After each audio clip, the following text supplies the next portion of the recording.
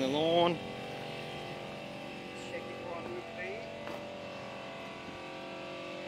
This is shed two. Um, got an XC, I think it is, XC Ute here. I think um, old man was just using it for parts, this one. You can see it doesn't look too flash. So I'm missing most of the parts.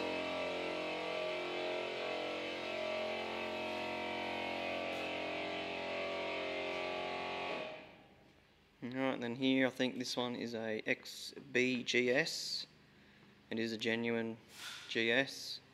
Uh, 302 Cleveland. Uh, but as you can tell, it is fairly rusty. There's actually not much car left at all. So I don't know what my old man's plan is with this one. If he's gonna fabricate all new panels for it or who knows. It's definitely seen better days.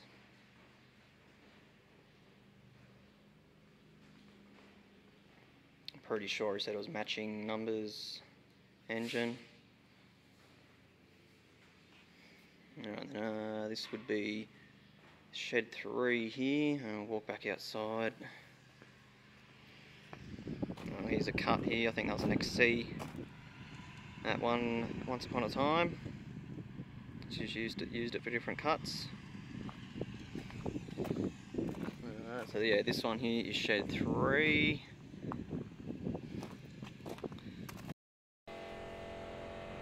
Right, so this is shed 3. Uh, we've got a few different cars here. So this is a 50 59 Ford Ranchero. I think it's a 59.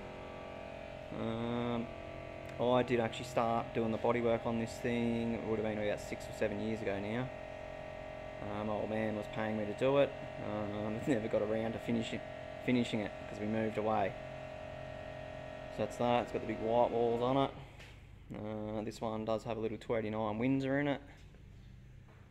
Uh, but yeah, there's not really much on the body that actually needs needs finishing. Uh, obviously all the interior needs to be redone. It's still a full resto. All the parts are in the back there. Various different parts. The big white walls down here, which were brand new probably 10 years ago when we went to America to get it. Um, and then this is my other 1964 Lincoln. This is the good one. Uh, has no rust pretty much anywhere. Um, I bought it out of America probably 10 years ago, maybe even a little bit longer. Um, I think I paid like 1500 US for it, it was pretty cheap.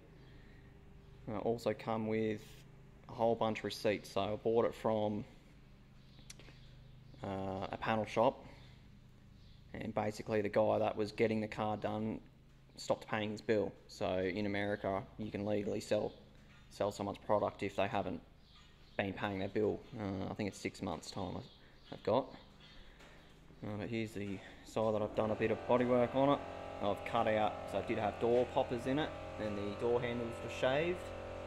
Uh, I've put that back to how they're meant to be. Uh, cut the holes back out and, and bought new handles for it. Uh, but yeah, this one's got a rebuilt 430 cubic inch uh, MEL motor, Mercury Edsel Lincoln. Um, the factory colour is like a cream. A cream colour, it's meant to be all leather, cream interior. Uh, but yeah, it's got rebuilt engine, diff, gearbox, and yeah, most of the suspension rubbers and all that, they're all brand new, well, 10 years ago. So that's that. That's my project that's probably still going to be a long time away. And then we got an XR Fairmont here. XR Fairmont, uh, which is my old man's. Can't really tell you much about it. We do have a little 289 for it. Um, but yeah, that will be getting done up probably next six months. My old man will probably take that one home and restore that and then sell it. So that is an XR Fairmont. Uh, this is an XBGT, which is a friend's car. Um, and then yeah, we got various parts sitting around ED, ED Falcon bonnet. There's got an old XE, E or D bonnet there. Someone's cut out the middle. Uh, but yeah, we did used to work in these sheds. Uh, probably last time we worked out of here was five, six years ago. And yeah, all we did was restorations. And basically, yeah, it was me, my dad, and my brother that, that did all the work. Uh, and we basically all just went our separate ways. And we've all yeah moved away from this little little country town. Alright, so then we go into shed four. We've got some more cars in here. And That's what's that? ED XR wheels. Oh, that giant pool table I've still got. That was from the house at Gold Coast. That's actually a very nice pool table. It has been sitting here now for probably 10 years. Out here we've got some more Falcons. This one's got a V8, factory V8 car.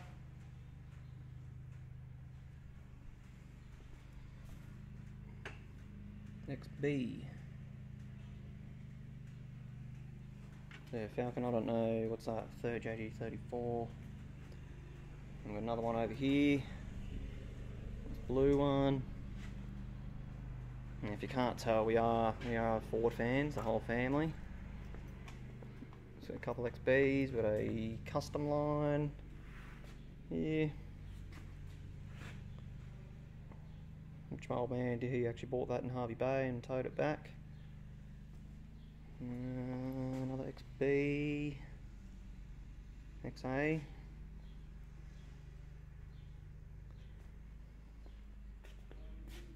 Another what's that 60 67 Falcon. We've got another one.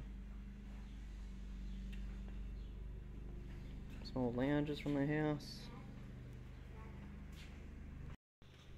Alright so I've just been informed this one is an XB Fairmont matching numbers uh, V8 so probably another one on the list that will get done up one day. Uh, at the moment, I think my old man's working on a couple customer cars, a HJ panel van and a XY Falcon for a guy. And this one here, he just says this one's a matching numbers as well. XB, apparently it's a good coded car, so maybe interior colour or something's good. Uh, factory blue. Uh, and then this one over here, that's all rusty in the front, that's an XR. Not sure if it's a V8 or a 6. Might be able to see through this hole. There's no engine. Oh no, there's an engine in there. Um, let's say it's a 6. I can't really see in there. Alright, so that's this shed. And we'll go to the next one. Actually, I might show you this Fairlane here, NA Fairlane. Uh, my old man was driving this not long ago and he gave it a quick quick respray just to bring it up bring it up to sort of factory spec it is just an NA so it doesn't have that plush no, they're locked that plush interior it's just got the almost like a GLI type interior it's a bit strange for a Fairlane but it is actually in very good condition Anyway, last time he come out here, he was using this as his tow car. Last time he come out here, um, he turned it off and it wouldn't start again. So we had a look at the couple basic things, which is usually coil or the dizzy on these things. Um, he did change the dizzy, still wouldn't go. And for some reason he didn't change the coil because he couldn't get to it properly. So that's probably all it is, the coil. He ended up changing computer in it, changed a couple other things, couldn't get it going. And I said, did you change the coil? He goes, nah, it was too hard to get to, so he gave up on it. So deregistered it, and it's been sitting here probably three or four months now. It's probably actually not a bad one for someone to buy. Probably an easy, easy fix. Alright, this shed here is pretty much vacant. Uh, they did have this one rented out. Someone was renting out. Uh, I don't know what they were doing in here. Uh, but this one is a friend's Z. Uh, I'm not really up with the Fairlane. Z. ZG. I know someone might be able to correct me. ZG Fairlane. V8 351. Uh, it was sitting outside and someone has sold the gearbox out of it apparently. I haven't looked at it but yeah someone sold the gearbox out of it so it's been pushed in here. Um, and we tried getting contact with an old friend and I think pretty sure he was told to pick it up but it's still sitting here. Now we also did have, I don't think it was in this shed, it was in the sh last shed that I was just in. We did have three Monaros in there, HKTG Monaros. Uh, that some guy was storing them here, never paid his bill. And my old man said if you don't get them out, we're going to sell them. So he finally come around and picked them up. I don't know if he fixed up his bill or not. But yeah, they're gone now. And then shed six. It's got a few other things. A couple motors here couple Windsors. Uh, I think they're both 260s. Yep, 260s. Um, various Ford parts, got crap everywhere. couple of mufflers there. And then we've got an EB XR8, which an old man bought up at Bundaberg. I think he paid two grand for it. This was a couple of years ago now. Uh, haven't had it running someone's someone's moulded a XR8, BA XR8 bulge onto it. As you can see, hasn't been done properly because it's cracked and it's, it's lifting. Um, it's just an auto. It is definitely an XR8. We've done the checks on it. yeah, it's pretty rough. It's definitely seen better days, but you know these things are going up in value so they're worth even in this condition they're worth they're worth picking up. So yeah it is fairly rough. I think it's cobalt blue. I think that's what they call this colour. Um, see if the bonnet no the bonnet's not open. Now the the little intake pipe that I've got on my 64 Lincoln back at home uh, actually the manifold sorry the, the manifold and the elbow that is actually off this car. So now this actually has an AU uh, lower and upper manifold on it and throttle body, but we haven't had it running. um, old man did tell me what this thing was. It is a Triumph R3 1960 little panel van thing. It's a bit funny looking. Um, but yeah, apparently worth worth good money, so that's why he's got it. And then what else we got? we got various panels here, Mustang panels, Falcon panels, a few Mustang doors, a roof cut there off something. Um, some old wire wheels that would have come off one of the cars from America. My parents did used to import American cars. Uh, they probably did it 15 years and they'd usually bring anywhere from 8 to 16 cars back at a time. Uh, and I think the last time they went, yeah, it was probably probably 10 years ago now. Uh, but this is one of the cars that's left. Doesn't look like much, which is a, I'm pretty sure it's a 60, 67 or 68 Mustang convertible. Um, which I think they've got brand new quarter panels and stuff for this one. So it looks it looks pretty bad, but once you got all the new panels there and you weld them on, they turn out pretty good. Uh, now I think these are XB, XC Utes. So another two, another two Utes here, and then another Fairmont. Ford Fairmont.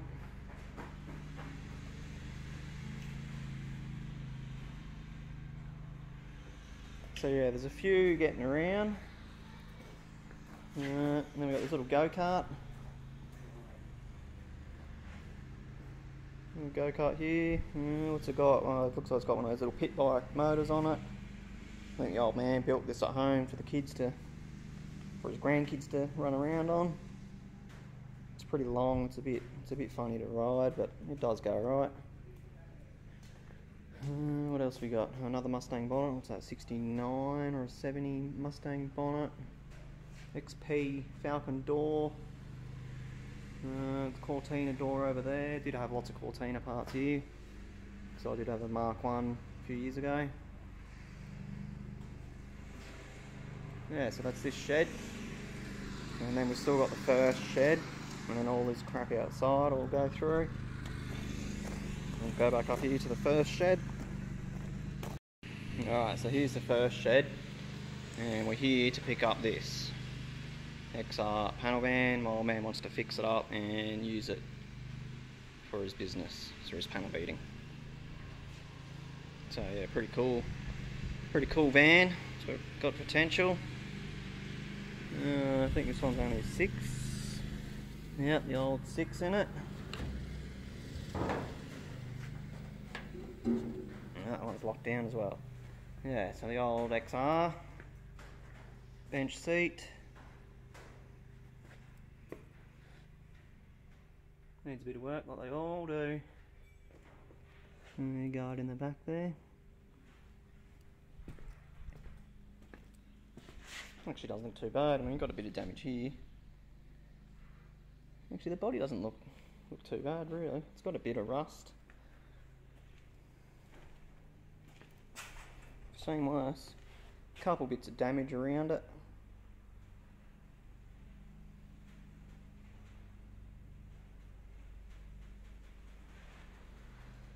Alright, then we've got another another falcon here.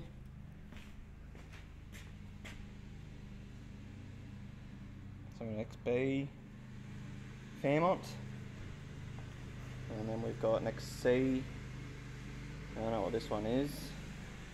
XC. It's just a six cylinder. It's a bit dark in here to see properly.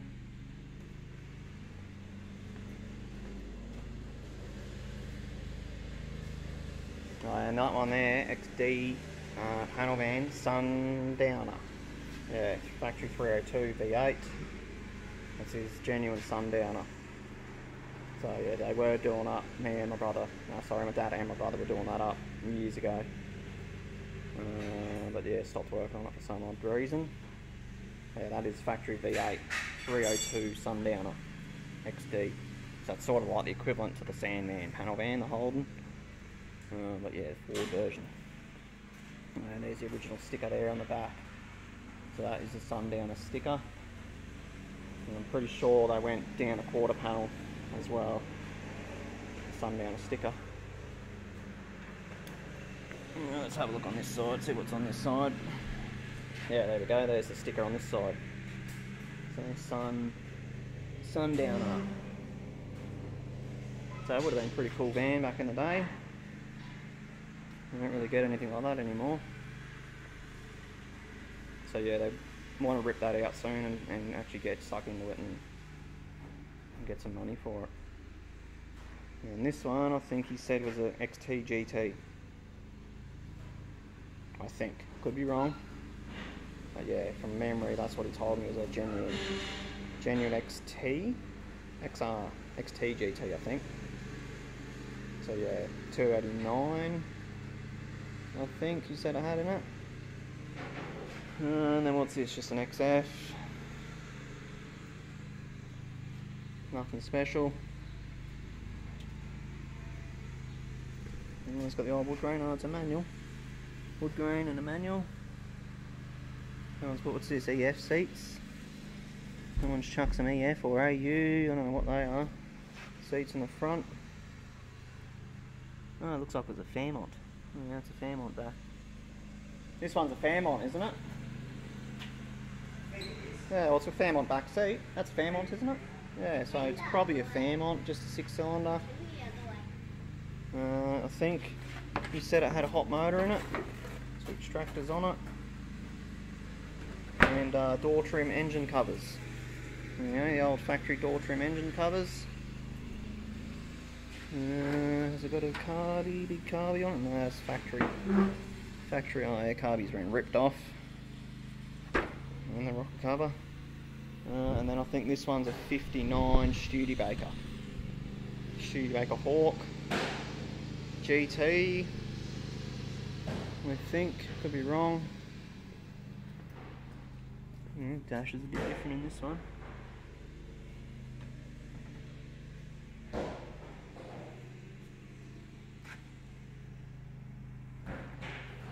Alright, then we'll go for a quick walk around the outside and we'll have a look there.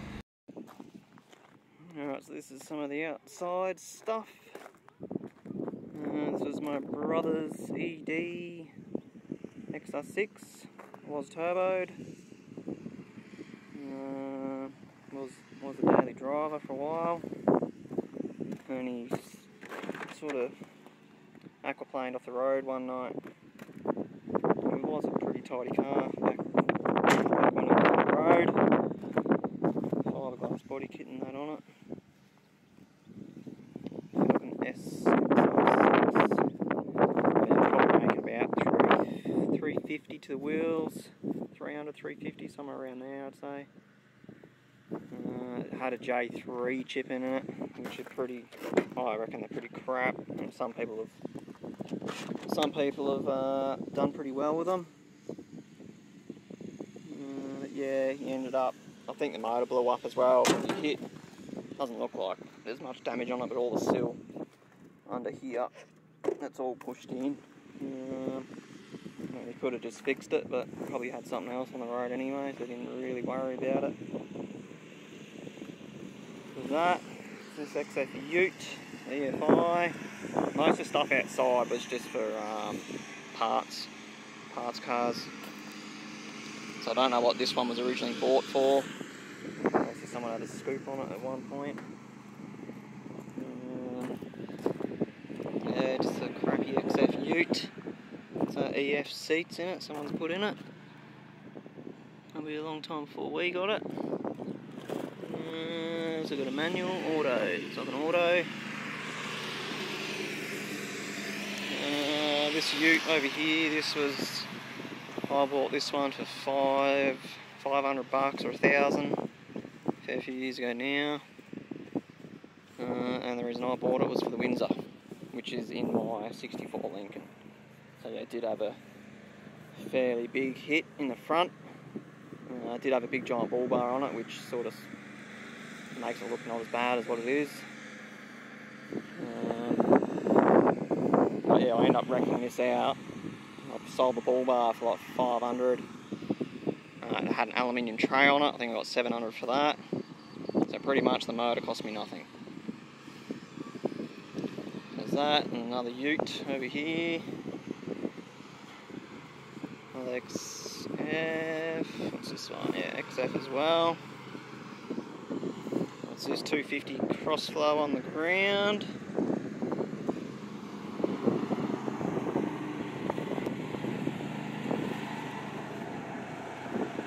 nothing fancy, probably bought for parts.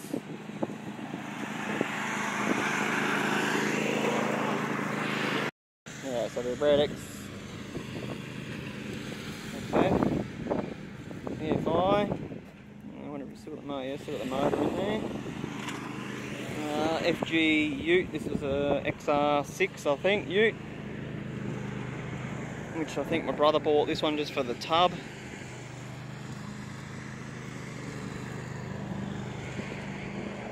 basically just a roller.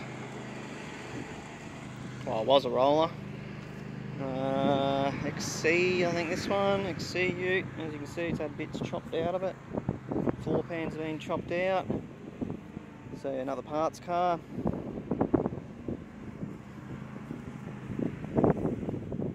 Mm, got a motor, yeah, probably a 250 or a 200, more likely 250. Uh, Ford Econo van, I think they call this one. Like a 70 something. Nice and rusty. We pulled the motor out of this. I think it had a 302 in it. Uh, Windsor. I can't remember now. We pulled it. What did we pull that out for? I can't remember what we pulled that out for. It looks like it's got pretty good bumpers on it. The front bumper looks pretty good.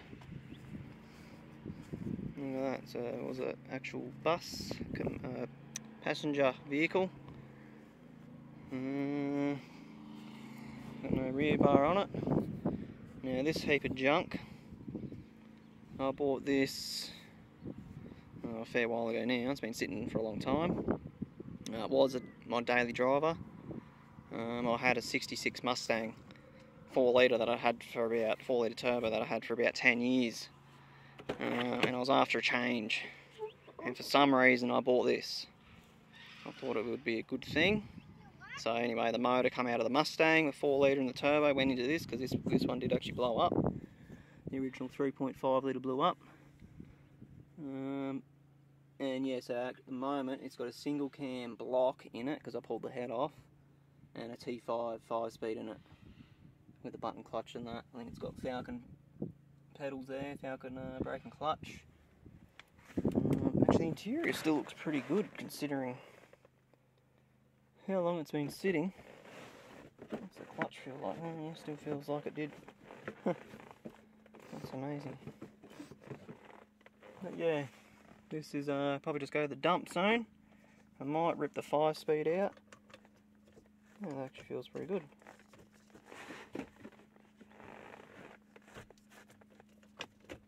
Yeah, that doesn't feel too bad really.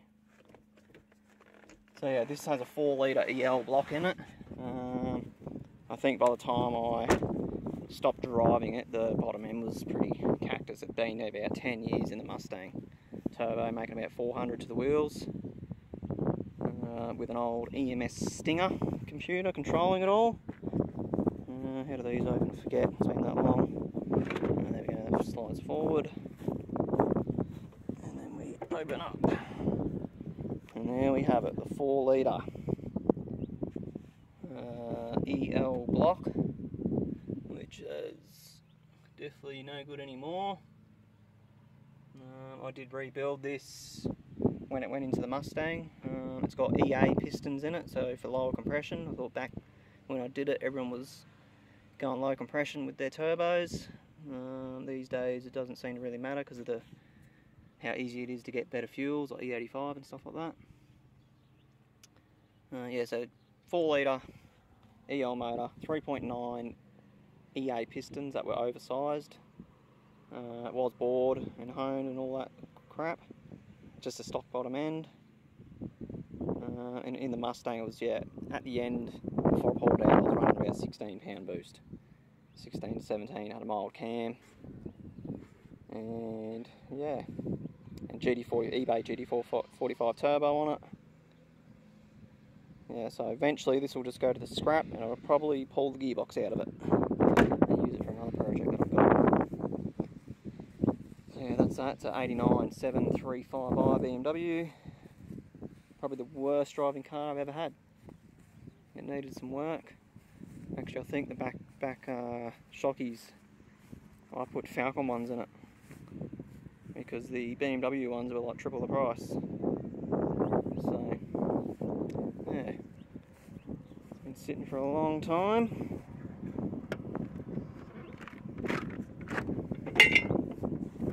Still there in the back. And then over here, there's just an EL Fairmont, I think it was. This was a guy who used to hang around a bit when we, when we were doing here and there's an older fella, probably on the pension, living in a caravan. And he bought this, I think, from Car Yard, and then his nephew rear-ended him, so it got pulled off the road. And this thing, he spent a lot of money on this car, like all the suspension and all that. He went through everything. Any noise that he he heard, he had it back at a mechanic shop and getting it fixed. Um, this had a think a 60 70,000 kilometre motor put in it when he got it. Well, he actually did it. So it's actually probably got not a bad motor for a conversion if you're into those single cams. They do turbo pretty well, but yeah, there's the damage. His nephew hit him in a v, VN wagon, I think, and uh, broke both cars off. So it's probably not a bad motor to get actually, in the, in the gearbox. And then what I got here, X XM, XP, I can't remember now. Wagon, I can't remember if we cut the front off or something or but yeah this has been sitting here sitting here for a long time sorry about the wind guys if you can't hear properly. Yeah as you can see the front's gone off that one. And yeah she's pretty rusty. Probably another one go to the scrap. Uh, so this place is actually up for sale. Here's a sort of a better view of the whole property. I think it's an acre all up. So it goes over there, the fence is over there near that shed there, the neighbour's shed. And then yeah, all the way, it's actually a pretty good block. Quite nice grass growing around, some trees. And then I think our shed, or my parents' shed is 60, 60 metres by 12. And then yeah, most of them have walls up in, in between, so they're, they're 10 by 12 each or something, or 11 by 12. And this one here was an XR5 turbo focus that I'd bought um, and realised it was just too much to fix. So I ended up buying another one, another one that needed, I think it needed an engine or something, so I did some swapperoos on some parts. Yeah, that'll go to the crusher. Uh, here's another FG Ute tub, this has been used for, for steel storage panels, probably go to the scrap. And then we've got a Ford Prefect, I think it's a 48 or a 49 model. Old man had plans of putting a 200 or 250 crossflow in it. Uh, but yeah, not sure what, what the go is with that anymore. It's been sitting here for a long time. Ford Prefect.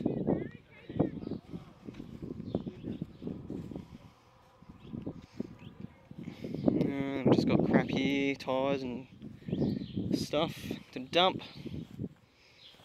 So XR5 rear but um, FG doors, BA doors sitting there. Um, XM LP door. It's got some Rover. I think they're Rover quarter panels. Um, what else we got? Yeah, just a whole heap of stuff, exhaust, and it's all pretty much junk. Uh, more focus stuff there, XR5, BA Ute, mm, which I probably should try and, the last time I was here I looked for some parts for the, the XR8, but the parts that I want aren't here. Mm, looks like someone's put an FG XR seat into it, if you can see that. This one looks like a BA one still, actually that's the same trim as mine, same colour. Hmm, if I had a driver's door trim, I would be taking that, but there's none there. And the last car out here is, oh, there's two more. Is my, well, this is my old NC Fairlane that I only bought for like a business car sort of thing. Pretty, pretty bad choice. Um, but only because I had a, a, single cam in it and I had all the parts there to, to turbo this. Um, so yeah, basically this thing here, um, we had a workshop at Gatton for a while and I, would bought a dyno before we moved there and I was, you know, learning to tune and do all that type of stuff. Um, and this was sort of a test, test pig, uh, which got the old computer out of the Mustang in it, or out of, from the, the crappy BMW there, the EMS Stinger. Uh, they got the same GT45 turbo on it. It got the AU head whacked on it, which I had on the Mustang. Uh, AU head with a custom ground Camtech cam. I think it was like a 230, 240 duration cam. Um, steam pipe manifold. And the exhaust went straight out the bonnet here. As you can see, the hole that I've cut out. And yeah, basically whacked all this stuff on in a day. Um, and tuned it that day and it made 470 to the wheels on about 17 pound boost. So it wasn't too bad. Anyway, that I only did it because I was having a a dyno day for the Falcon E, e Series group, Brisbane E Series, I think they were called. Um, they hit me up, said, "Do you want to do a dyno day?" And I said, "Yeah, why not?" So I thought I would quickly put this together just to, I don't know, to have something of my own for the dyno day. And yeah, I ended up winning because there was no other there was no other turbo cars there. It was all just NA, pretty much NA sixes and a couple V8s, five litres. And yeah, they only all made around 200, 180 to about 220, and mine made 470 on the day. So I ended up winning my own my own day. And yeah, and then the last one here, we've an XF wagon Ute. I think this one was just bought for parts. Um, yeah, not much to it. That's about it. Now most of the stuff here is for sale, apart from probably my Lincoln. I don't want to sell that. Um, but yeah, if any anyone's seen anything they like, hit me up. Uh, I can ask my old man and see if he's got a price for you. And also this whole property is, is for sale. I think they've got about 350, 400,000 on it. Um, yeah, so it is actually pretty good spot. Well, it's not the best spot, it's in a small country town. It's about 40, 40 minutes from Toowoomba and about 40 minutes from Warwick. So sort of in the centre of these, of the two bigger towns. Uh, and then yeah, here we go, we've got the XR panel van loaded up, ready to go. So this one's just going to go back to my parents' house. Um, and yeah, my old man, I think my mum's actually going to start bare metaling it and uh, they'll get stuck into doing all the rust repairs on it and bodywork and, and getting it painted.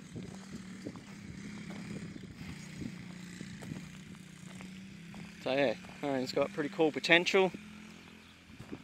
I don't know if they're going to keep the windows in it or are they going to weld them up. I couldn't tell you. Um, but yeah, that's that's about it for this video. Got the trusty old XR8 still ticking along. Uh, I think it's now got 303,000 Ks on it. Motor still seems pretty good. Uh, I did check the oil before I left and it was pretty much empty, so I have to top, top that up. Uh, obviously I just drive it too hard and it likes to chew through the oil. So I'll probably do another oil, oil change on it soon and then yeah that'll be it. Anyway guys that's pretty much it for this video. Just want to give you a bit of an update of what's been going on. Uh, I do want to get back into doing videos soon. Uh, yeah, having a little tiny garage to work out is pretty hard when I'm used to working out of something, you know, like this. I was spoilt for a few years, working out of sheds like this, um, and try and find it hard to work out of a little little house house garage. So, next on the list, I think we need to build a shed in in the backyard. Alright guys, thanks for listening, and we'll see you later.